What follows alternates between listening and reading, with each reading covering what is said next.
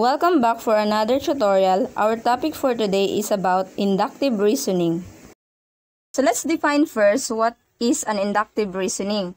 So it makes broad generalization from specific observations. So for example, you're, you're in a certain daycare center and then you notice that the children there likes to play a Lego or Legos. And then you assume or you come up with a conclusion that all children likes to play Lego. That's only based from your observations. Now, another defi definition for inductive reasoning, scientists use it to form hypotheses and theories. Next, inductive reason reasoning is also known as a valid guess, and it allows for the conclusion to be false And then conclusion form is called a conjecture. So yung inductive reasoning, may mga times na hindi tama yung makakome up mo na conjecture o yung, o yung conclusion. Conjecture yung tinatawag na conclusion sa nakuha mong idea sa isang inductive reasoning. So, the idea may or may not be correct. So, hindi palaging tama. Depende yan kung paano mo na-come up yung reasoning na nakuha mo or based sa iyong observations. Para mas maintindihan natin kung ano yung inductive reasoning in terms of mathematics in the modern world, let's answer this example number one. So, ang instruction ay use inductive reasoning to predict the next number. So, sa ating first problem or example, letter A, which is the given number, the series of numbers are 2, 4, 6, 8, 10, and 12. And then, hahanapin natin ano yung kasunod na number after ng 12. So, kung mapapansin nyo, ang mga numbers na to are even numbers. So, meaning, ang kasunod ng 12 ay 14. So, based sa ating observation, each successive numbers are an even number. So, each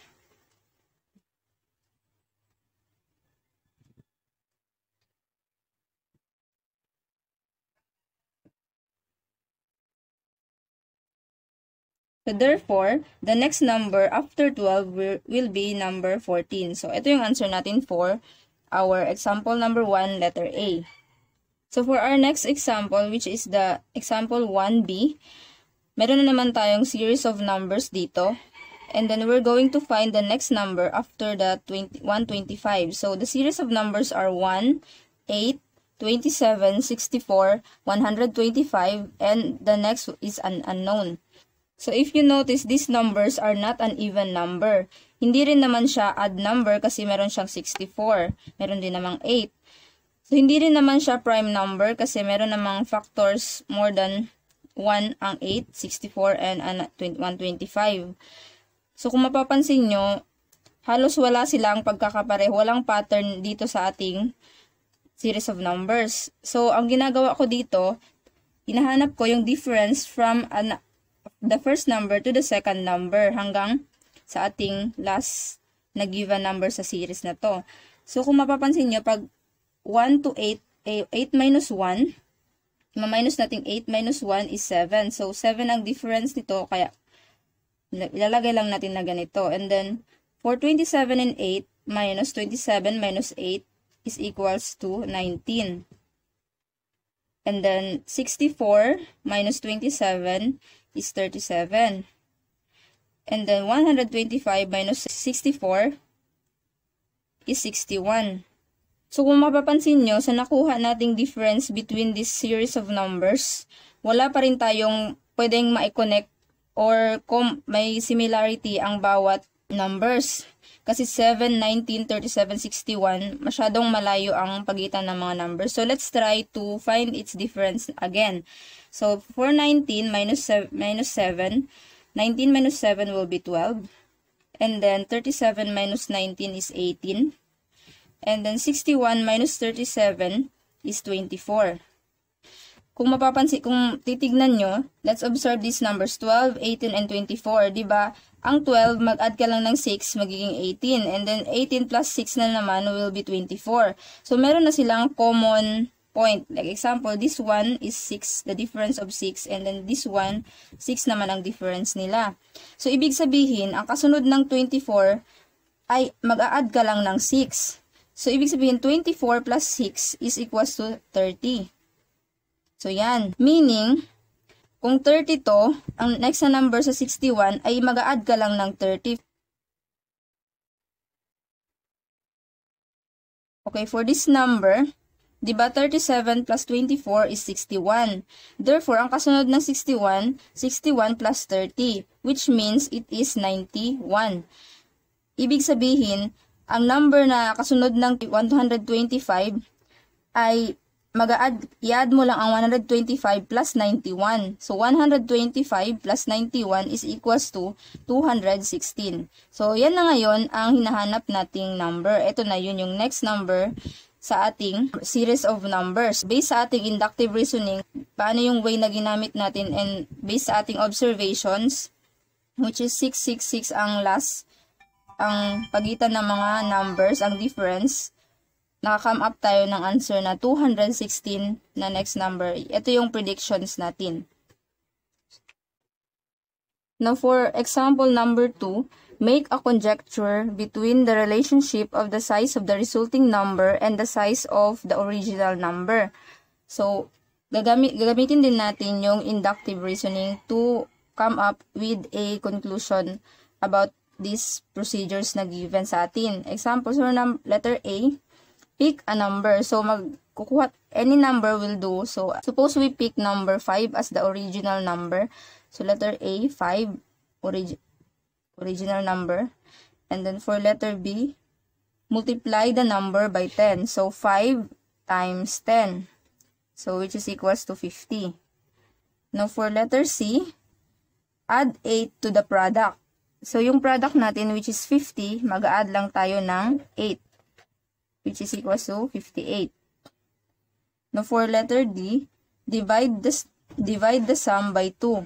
So, yung sum, which is the 58, divided by 2. 58 divided by 2, which is equals to 29. Now, for letter E, the last procedure, subtract 4 and subtract 4. Subtract 4 from our quotient, which is the 29. So, 29 minus 4, which is 25. So, ito na yung tinatawag nating the resulting number. Based sa original number, ang ating napili na kanina, which is 5, and then the size of the resulting number, which is 25. So, kung mapapansin nyo, times 5 ang laki ng, ng ating resulting number kaysa sa ating original number, which is 5. So, 5 times 5 is equals to 25. Pwede natin gawing conclusion yun, pero let's again try another number. Okay, suppose we pick another number, um, number 10. So, tignan natin kung anong mangyayari kung yung makakam up ba nating solution is same pa rin sa ating naging first na conclusion, which is 5 times the original number. Now, for 10, we pick a number and then multiply the number by 10. So, 10 times 10, which is 100 and then add 8 to the product. 100 plus 8 is equals to 108. And then divide the sum by 2. So 108 divided by 2, which is equals to 54.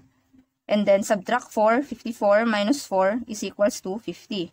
Now if you observe, if you will observe, from the original number to the resulting number, times 5 pa rin ang ang laki, ang size ng ating resulting number kesa sa ating original number. So, pwede na natin tong i-conclude that the given procedure produces a number that is 5 times the original number. So, so isusulat ko na lang dito ang ating conjecture o ang ating nakuhang conclusion based sa ating observation. So, therefore, the given, the given procedure,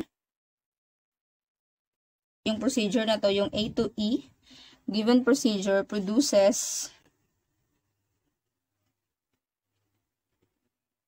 a number that is 5 times the original number. So, yan na. Ito na ngayon ang ating nakuhang inductive reasoning. So, given the procedure, given procedure produces a number that is 5 times the original number. Yan ay based sa ginamit nating number 5 at saka number 10 ngayon. Yung number 5 kanina and then number 10 ngayon which is 5 times the original number. Now, for our last example, for our inductive reasoning topic, let's try to answer this example number 3. So, if you'll notice na iba, may ano tayo dito, parang series of numbers pero in e, parang in equation siya. So, 11 times 1 times 1, 101 is equals to 1,000 or 111. So, apat na 1. And then, next, 11 times 2 1 times 101 is equals to 2,222 and so on. So, we are tasked to find the answer for this Now, sa unang tingin pa lang, kung mapapansin nyo, ang mga answers natin dito pa lang sa first or sa first number, as, sa first equation, which is 111, 222, and then 3345. So, kung mapapansin natin, kahit hindi na tayo mag-calculate, magamit ng calculator, hindi natin to ita-times or multiply, lalabas na ang answer natin, or magkukonclude na ako na ang answer will be 6,666. So, dito ay based sa ating mga naunang given. So, kahit ikakalculate to, 11 times 6 times 101 is equals to 6,666. So, based dito sa ating given na numbers, pwede tayo mag-conclude or, magkuha, or gagawa ng conjecture based sa ating observation. So, we can conclude that the product of 11 times n times 101 is a number where, where all digits are equal or the same. 'Di ba? Kung mapapansin nyo, ang nagbabago lang naman dito sa ating equation ay, ay ang nasa gitna which is 1 2 3 4 5. So pag sa mathematics, 'di ba, ang ginagawa natin naglalagay tayo ng let n. Ang n kasi pwedeng magbago ang numbers niya. So, pwedeng 1, 2, 3, 4. And then, constant lang din naman ang 11 and 101 kahit kahit pa nag 7, 8, 9, and 10. And then, ang, pabago, ang nagbabago lang ay ang nasa gitna na number. So, ilet lang natin yan as n. Na ngayon, kung ang conjecture natin or yung conclusion natin na yung magiging answer ay katulad pa rin ito, like same-same ang lumalabas, like pare-pareho. So, ibig sabihin, kung ganun yung conclusion ko na all digits are equal or same digits ang answer ng ating uh, ang ating magiging product, Ibig sabihin, ang 7, ang 11 times 7 times 101 will be 7777, apat na 7. Now, however, kapag magiging 10 tong n natin, how, how about kapag maging 10 to? So, magiging 11 times 10 times 101. So, iba na yung magiging sagot. Magiging 1, 1, 1, 1 11,110. 11,110. So, based dito sa ating nakuhang sagot ngayon, kapag let n is equals to 10, ibig sabihin hindi na valid yung ating conjecture o yung conclusion. Ibig sabihin hindi na siya tama. So hindi na hindi dapat nagagamitin natin na we can conclude that the product is the, the where all digits are equal. Hindi na ganun kasi ang 10, kapag 10 ang lalagay natin sa n, magiging 11,110. So, hindi na siya lahat 1. Tingnan nyo, may, may 0 na siya sa dulo. So, obviously, kung ang conclusion natin or yung conjecture na nagawa natin kanina, which is na ang mga answer ay dapat all dapat ang mga digits ay pare-pareho, hindi na applicable ngayon. So, hindi na siya tama. So, hindi na ganun. So, mali na ang ating magiging conjecture. ba diba kanina sinabi natin na all digits, all digits of the product